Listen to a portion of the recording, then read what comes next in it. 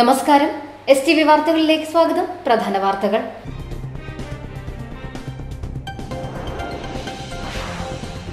സംസ്ഥാനത്തെ മുഴുവൻ നിയോജക മണ്ഡലങ്ങളിലുമായി സംഘടിപ്പിക്കുന്ന നവകേരള സദസ്സിലൂടെ നവകേരള നിർമ്മിതി വേഗത്തിലാക്കാനാകുമെന്ന് റവന്യൂ മന്ത്രി കെ രാജൻ.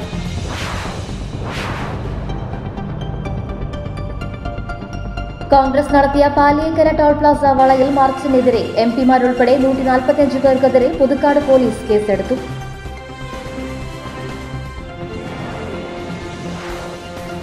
ചേലക്കര അന്തിമഹാകാളൻകാവിൽ വീടിന് മുൻപിൽ നിർത്തിയിട്ടിരുന്ന ബൈക്ക് കത്തി കത്തിനശിച്ചു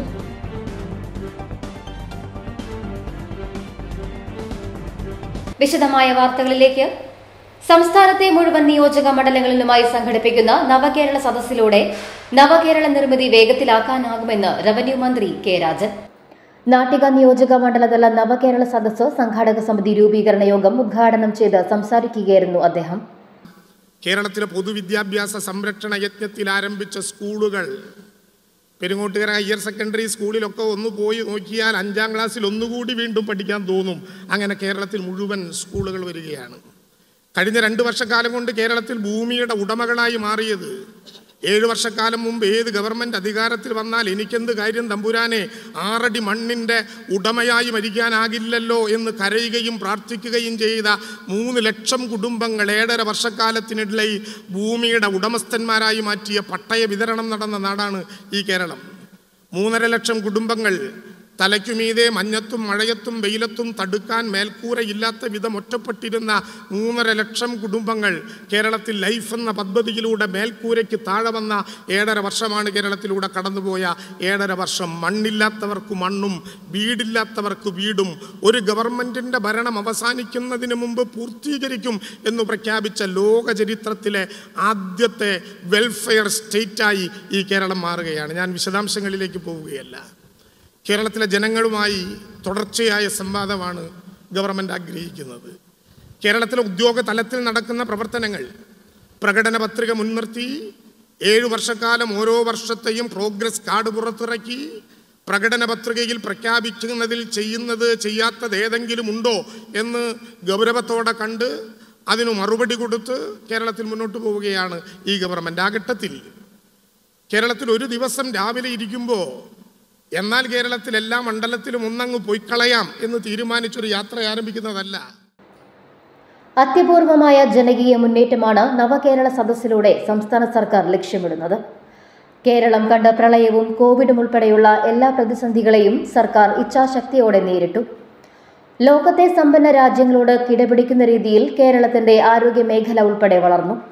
അതിദാരിദ്ര്യം ഇല്ലാതാക്കുന്നതിനായി സ്വന്തമായി ഭൂമിയും വീടും വിദ്യാഭ്യാസവും അടിസ്ഥാന സൗകര്യങ്ങളും എല്ലാം ഒരുക്കിക്കൊണ്ട് പ്രതിജ്ഞാബദ്ധമായ പ്രവർത്തനങ്ങളുമായാണ് സർക്കാർ മുന്നോട്ട് പോകുന്നതെന്നും മന്ത്രി പറഞ്ഞു.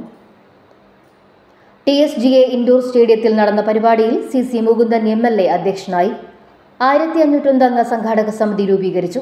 ചെയർമാനായി നാട്ടിക നിയോജക മണ്ഡലം M L A C C Mukundan convener ജില്ലാ supply officer P R Jayachandran രക്ഷാധികാരികളായി മുൻ കൃഷിവകുപ്പ് മന്ത്രി വി ആർ സുനിൽകുമാർ മുൻ ജില്ലാ പഞ്ചായത്ത് പ്രസിഡന്റ് ഷീല വിജയകുമാർ എന്നിവരെ തിരഞ്ഞെടുത്തു.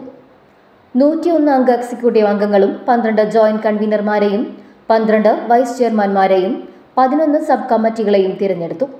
ഡിസംബർ അഞ്ചിന് വൈകിട്ട് മൂന്ന് മണിക്ക് തൃപ്രയാർ ബസ് സ്റ്റാൻഡിന് പരിസരത്തുള്ള ഗ്രൗണ്ടിൽ വച്ചാണ് നവകേരള സദസ്സ് സംഘടിപ്പിക്കുന്നത്.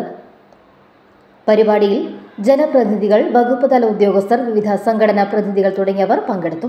കോൺഗ്രസ് നടത്തിയ പാലിയേക്കര ടോൾ പ്ലാസ വളയൽ മാർച്ചിനെതിരെ എം പിമാരുൾപ്പെടെ നൂറ്റി പേർക്കെതിരെ പുതുക്കാട് പോലീസ് കേസെടുത്തു.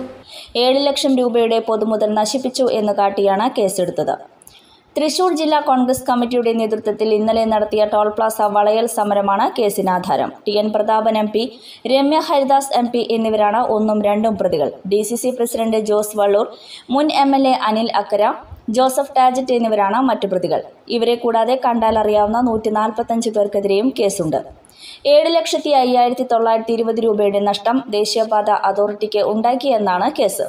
സമരത്തിനിടെ പ്രവർത്തകരും പോലീസും തമ്മിൽ ഉന്തും തള്ളുമുണ്ടായി. സംഘർഷത്തിനിടയിൽ T N Prathapan M P താഴെ വീണ കൈയിന് പരിക്കുപറ്റിയിരുന്നു സംഘർഷത്തിനിടെ പ്രവർത്തകർ ടോൾ പ്ലാസ തുറന്ന് വാഹനങ്ങളും കടത്തിവിട്ടിരുന്നു.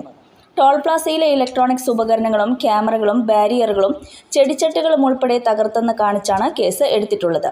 ഒടുവിൽ ജില്ലാ കളക്ടർ വി ആർ കൃഷ്ണതേജയും റൂറൽ എസ് പി ഐശ്വര്യ ഡോങ്ഗ്രയും ജില്ലാ അഡീഷണൽ മജിസ്ട്രേറ്റും അടങ്ങുന്ന സംഘം സ്ഥലത്തെത്തി നേതാക്കളുമായി ചർച്ച നടത്തി കുറ്റക്കാർക്കെതിരെ നടപടി ഉണ്ടാകുമെന്ന് നൽകിയ ഉറപ്പിന്മേലാണ് ഉപരോധം അവസാനിപ്പിച്ചത്. ചേലക്കര അന്തിമഹാകാളൻ കാവിൽ വീടിന് മുൻപിൽ നിർത്തിയിട്ടിരുന്ന ബൈക്ക് കത്തിനശിച്ചു ഇന്ന് പുലർച്ചെ പന്ത്രണ്ട് മുപ്പതോടെയായിരുന്നു സംഭവം.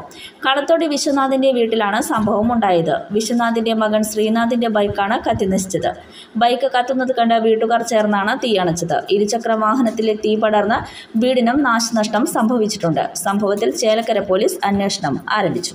ശാരീരിക വൈകല്യങ്ങളെ വെല്ലുവിളിച്ച് ഇന്ത്യ ചുറ്റിക്കാണാൻ ഇറങ്ങിയിരിക്കുകയാണ് മതിലകം പുതിയകാവ് സ്വദേശി സക്കീർ ഹുസൈൻ. ചെറുപ്പം മുതലേ അരയ്ക്ക് കീഴെ തളർന്ന് വീൽചെയറിന്റെ പരിമിതികളിൽ ജീവിക്കുന്ന സക്കീറിന്റെ ചിരകാല അഭിലാഷമാണ് രാജ്യം ചുറ്റിക്കറങ്ങുക എന്നത്. ഒട്ടേറെ പ്രതിസന്ധികളെ മറികടന്ന് കഴിഞ്ഞ ദിവസം ഇന്ത്യയുടെ വടക്കേ അറ്റത്തുള്ള തലസ്ഥാന ജില്ലയായ കുപ്വാരയിലെ കേരനിൽ നിന്ന് റോഡ് മാർഗമാണ് യാത്ര ആരംഭിച്ചത്. മസ്കുലർ ഡിസ്ട്രോഫി എന്ന രോഗം കൊണ്ട് എൺപത് ശതമാനം ശാരീരിക അവശത ബാധിച്ച അദ്ദേഹം പൂർണമായും വീൽചെയറിലാണ്. യാത്രയിൽ ഓരോ ഗ്രാമങ്ങളിലുമെത്തി ഭിന്നശേഷിക്കാരെയും വീൽചെയറിലിരിക്കുന്നവരെയും കണ്ടുമുട്ടാനും സൗഹൃദം സ്ഥാപിക്കാനും ശ്രമിക്കുന്നുണ്ടെന്നും സക്കീർ പറഞ്ഞു. കാശ്മീർ പഞ്ചാബ് ഹരിയാന ഡൽഹി ഉത്തർപ്രദേശ് എന്നിവ പിന്നിട്ടു. യാത്ര രാജസ്ഥാനിൽ എത്തിച്ചേർന്നു. ആരോഗ്യം അനുവദിക്കുവോളം പരമാവധി യാത്ര തുടരാൻ ആഗ്രഹിക്കുന്നതായും സക്കീർ ഹുസൈൻ പറഞ്ഞു. മതിലകം പുതിയകാവ് പിച്ചത്തറ ബാവുവിന്റെ മകനായ സക്കീർ ഹുസൈൻ എന്ന സക്കീർ മാഷ് ഭിന്നശേഷിക്കാരുടെ അവകാശങ്ങൾക്കും ക്ഷേമത്തിനു വേണ്ടി പ്രവർത്തിക്കുന്ന മൈൻഡ് ട്രസ്റ്റിന്റെ ചെയർമാനും all Kerala wheelchair rights federation സംസ്ഥാന വൈസ് പ്രസിഡന്റുമാണ് കൂടാതെ ഫീനിക്സ് എഡ്യൂക്കേഷൻ ഫൗണ്ടേഷൻ ഡയറക്ടറുമാണ് സന്തത സഹചാരിയായ ധർമ്മരാജ്.